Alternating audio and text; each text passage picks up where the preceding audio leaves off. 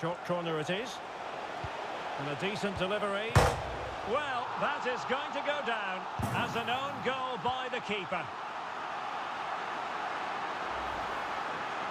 Well, here it is again, and he's a bit unfortunate, you have to say. But it will count as an own goal against him, I'm afraid.